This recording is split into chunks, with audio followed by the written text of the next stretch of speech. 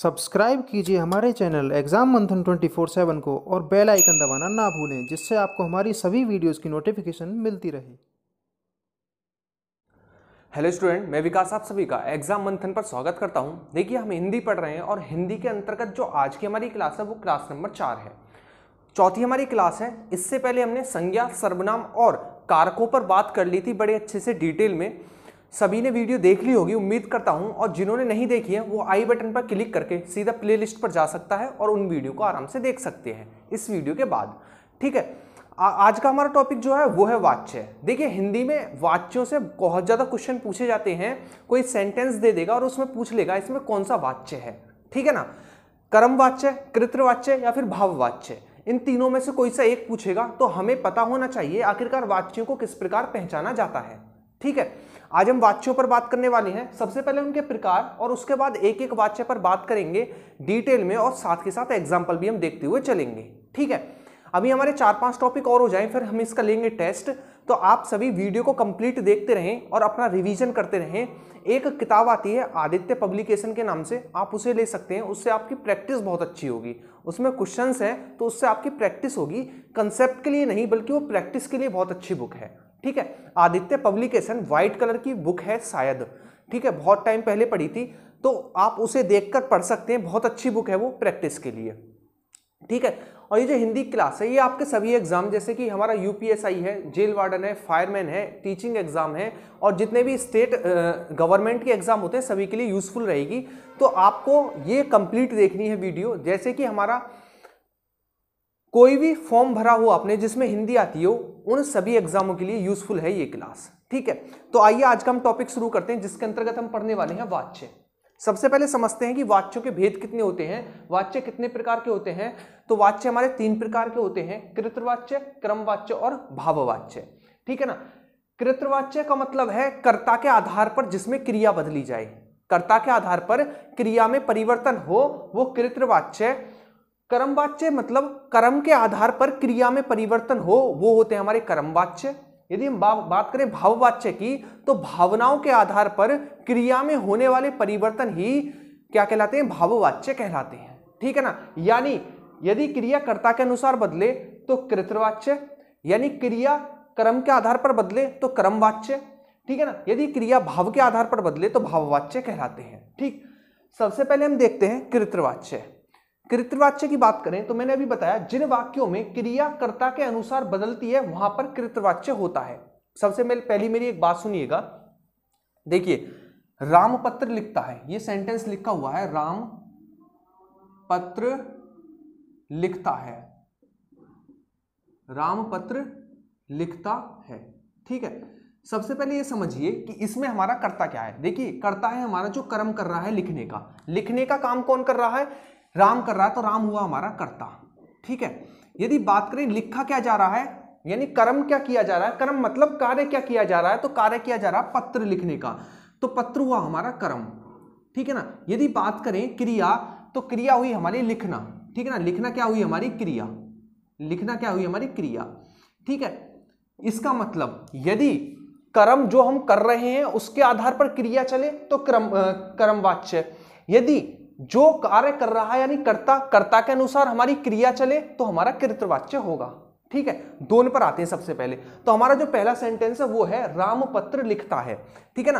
तो आपने देखा राम पत्र लिखता है तो यहाँ पर हमारा क्रिया जो है, वो राम के आधार पर है। मैंने यहीं पर स्त्रीलिंग ले लिया, यहीं पर मैंने फीमेल जेंडर लिया तो उसमें आया, सीता पत्र लिखती है। यानी, समझिएगा, यानी हमारी सीता के आधार पर हमारी क्रिया बदली गई, लिखती। ठीक है ना? और राम के आधार पर थी क्रिया हमारा लिखता। यानी कर्ता के आधार पर हमारी क्रिया बदल रही है। कर्ता के आधार पर हमारी क्रिया बदल रही है। जैसे मोहन खेलता है, इसे समझिएगा, मोहन खेलता है, जैसे कि मोहन खेलता है। ठीक है? दूसरा लेता हूँ मैं, रमा खेलती है। खेलती है। अब इसमें देखिएगा, ये हमारी क्रिया, ठीक है ना, ये हमारा कर्ता, ये हमारा कर्ता, ये हमारी क्रिया। देखिए, मोहन के अनुसार आई हमारी लिख खेलना और रमा के अनुसार, क्योंकि वो स्त्रीलिंग थी तो खेलती क्रिया यानी मोहन और रमा दोनों कर्ता हैं और कर्ता के आधार पर हमारी क्रिया में परिवर्तन हो रहा है। ठीक है ना? तो वो कौन सा होगा? वो कृतवाच्य होगा। यानी कर्ता के आधार पर क्रिया में होने वाले परिवर्तन को ही कृतवाच्य कहते हैं। आप सीधा सीधा ये समझिए, यदि पत्र के आधार पर, यदि पत्र के आधार पर क्रिया में परिवर्तन हो रहा होता तो वो कहलाता हमारा कर्मवाच्य। क्या कहलाता? कर्मवाच्य। जैसे कि नेक्स्ट हम देखते हैं। दूसरा है हमारा कर्मवाच्य। जिन वाक्यों में, जिन वाक्यों में क्रिया कर्म के आधार पर बदले, वो कहलाते हैं हमारे कर्मवाच्य। जैसा कि मैंने आपको बताया था राम पत्र लिखता है, इसमें राम हुआ हमारा कर्ता। हम कार्य क्या कर रहे हैं? पत्र लिखना। तो पत्र हुआ हमारा कर्म।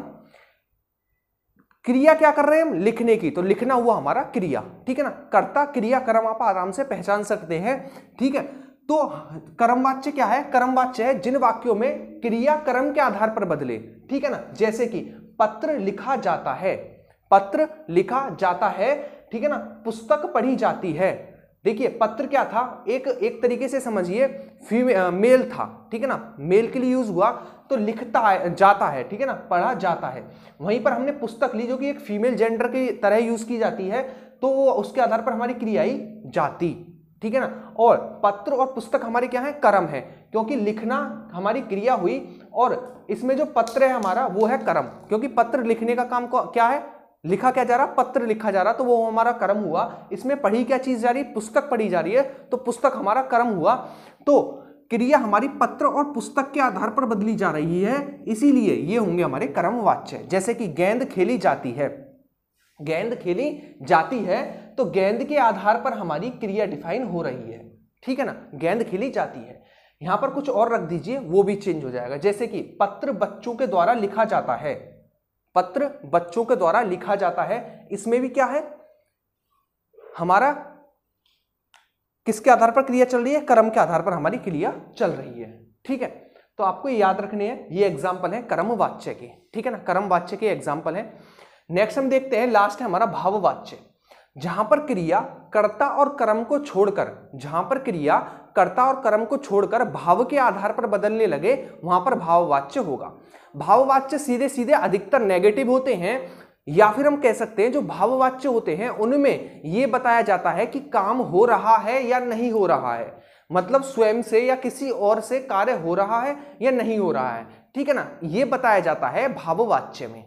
ठीक है? तो भाववाच्य सीधे सीधे ये बताते हैं, काम हुआ या नहीं हुआ। ठीक है? जैसे कि मैंने पूछा, आप कैसे हो? आपने कहा, मैं अब अच्छा हूँ। ठीक है? इसमें क्या होगा? इसमें भाववाच्य होगा। क्योंकि तो भाव के आधार पर बातें कही जा रही हैं। जैसे कि, उससे बैठा नहीं जाता, ये भी एक भाववाच्य है। उससे बैठा नहीं जाता। ठीक है ना? नेक्स्ट हम ले, उससे खाना खाया नहीं जाता, ये भी हमारा नेगेटिव सेंटेंस है और इसमें भी भाव है कहीं ना कहीं। क्योंकि मुझसे सोया नहीं जाता, मुझसे खाया नहीं जाता, अब मैं ठीक हूँ। अब मैं ठीक हूँ, अब मुझे आराम है, ठीक है? अब मैं दौड़ने जाता हूँ, अब मुझसे चला जाता है। इस प्रकार के जितने भी वाक्य होते हैं, जिनमें जिनमें यह बताया जाता है कि मुझसे काम हो रहा है या नहीं हो रहा है, ये सभी होते हैं हमारे भाववाच्य। क्योंकि इनमें जो क्रिया चलती है, वो भाव के आधार पर चलती है। किसके आधार पर? भाव के आधार पर चलती है। ठीक है? तो ये थे हमारे वाच्य। ये थे हमारे वाच्य, जिसके अंतर्गत हमने तीन प्रकार के वाच्य पढ़े। सबसे पहले कृतवाच्य, फिर कर्म वाच्य और फिर भाववाच्य। ठीक है? कृतवाच्य हमने क्या पढ़ा था? यानी जिसमें क्रिया कर्ता के आधार पर बदले, वो कृतवाच्य। कर्मवाच्य में यदि क्रिया कर्म के आधार पर बदले तो कर्मवाच्य। यदि क्रिया भाव के आधार पर बदले तो भाववाच्य। कृतवाच्य में, जिन वाक्यों में क्रिया कर्ता के अनुसार बदलती है, वो कृतवाच्य कहलाते हैं। जैसे कि रामपत्र लिखता है, इसमें पत्र जो है हमारा वो कर्म है, ठीक है ना? लिखना जो है हमारी क्रिया है और राम क्या है? हमारा कर्ता है, ठीक है ना? तो राम के आधार पर लिखता और यहीं पर मैंने एक फीमेल जेंडर लिया, सीता तो उसके आधार पर, कर्ता के आधार पर क्रिया भी हमारी लिखती हो गई, ठीक है ना? तो कर्म के, कर्ता के आधार पर हमारी क्रिया में परिवर्तन हो रहा है, इसीलिए जो हमारा ये होगा ये होगा हमारा कृतवाच्य ठीक है? नेक्स्ट हम लेते हैं कर्म वाच्य। जिन वाक्यों में क्रिया कर्म के आधार पर बदले, कर्म के आधार पर बदले, जो हम कार्य कर रहे हैं, उसके आधार पर बदले तो वो कहलाते हैं कर्म वाच्य। जैसे कि पत्र लिखा जाता है, पत्र, लिखा क्या जाता है? पत्र। तो पत्र हुआ हमारा कर्म और उसके आधार पर आया जाता। यहीं पर मैंने एक फीमेल जेंडर पुस्तक लिया तो पुस्तक पढ़ी जाती है। पुस्तक पढ़ी जाती है, यानी पुस्तक, यानी कर्म के आधार पर जाति आया और कर्म के आधार पर यहाँ पर जाता आया। ठीक है ना?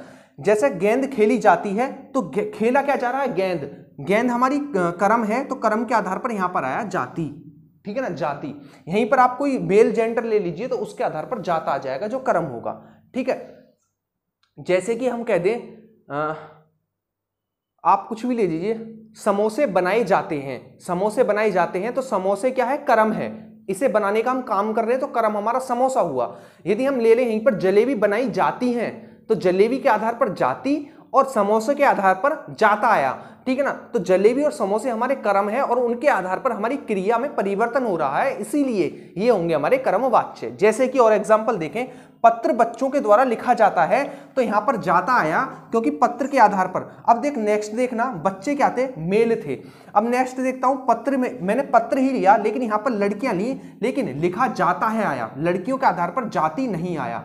जाति नहीं आया, क्योंकि लड़कियाँ जो थी हमारी, वो कर्ता थी और कर्ता के आधार पर क्रिया में कोई भी परिवर्तन नहीं हुआ, बल्कि पत्र के आधार पर क्रिया चल रही है। बल्कि पत्र के आधार पर क्रिया चल रही है, ठीक है? तो ऐसे कहलाते हैं हमारे कर्मवाच्य जिनमें कर्म के आधार पर क्रिया में परिवर्तन हो। कर्म मतलब आप समझे, जो हम काम कर रहे हैं, वो कर्म है। जैसे कि मैं आम खा रहा हूँ तो आम जो है, वो कर्म है। मैं क्या हूँ? करता हूँ, और खाना क्या है? क्रिया है। ठीक है ना? तो इसका मतलब जो हम काम कर रहे हैं, उसके आधार पर क्रिया बदले तो कर्मवाच्य। और कर्ता के आधार पर, यानी जो काम कर रहा है, उसके आधार पर क्रिया चले तो कृतवाच्य। और जब क्रिया ना तो कर्म के आधार पर चले, ना कर्ता के आधार पर चले, भगवान भरोसे चले, यानी भावों के आधार पर चले, भावनाओं में चले तो वो कहलाता हमारा भाववाच्य। जैसे कि भाववाच्य में ना तो क्रिया की प्रधानता होती है, ना हमारे कर्म की प्रधानता होती है, बल्कि भाव की प्रधानता होती है। जैसे कि इसमें केवल और केवल भाववाच्यों में यह बताया जाता है कि मुझसे काम हो रहा है या नहीं हो रहा है। ठीक है? बस बस ये बताया जाएगा, ये समझ लीजिए, कोई आपकी तबीयत पूछ रहा है, वो भाववाच्य है। ठीक है? आप किसी को कुछ बताना चाह रहे हैं, वो भाववाच्य है। ठीक? जैसे कि आपसे डॉक्टर ने पूछा, अब तबीयत कैसी आप कहोगे, अब मेरी तबीयत में फ़ायदा है। भाववाच्य है, क्योंकि आपने भाव से बताया। आपने भाव से बताया। इसमें कोई आपको क्रिया नहीं करनी पड़ी। ठीक है ना, बताने में कोई क्रिया नहीं करनी पड़ी, आपको ऐसा कोई कार्य नहीं करना पड़ा, आपने केवल बताया भाव से। ठीक है, उसी प्रकार उससे अब बैठा नहीं जाता, ठीक है नेगेटिव सेंटेंस होंगे मुझसे अब खाया नहीं जाता, ये भी भावी हुआ हमारा, मुझसे बैठा नहीं जाता, मुझसे खाया नहीं जाता, अब मुझे तो रोना आता है। इस प्रकार के जितने भी सेंटेंस होंगे, जो नेगेटिव होंगे, जो अपनी दुख व्याधा सुनाते होंगे, सभी के सभी हमारे भाववाच्य में आएँगे। आप भाववाच्य को अलग से पहचान जाएँगे सेंटेंस में अलग भाव दिखेगा। जैसे कि, मुझसे अब खाना खाया जाता है।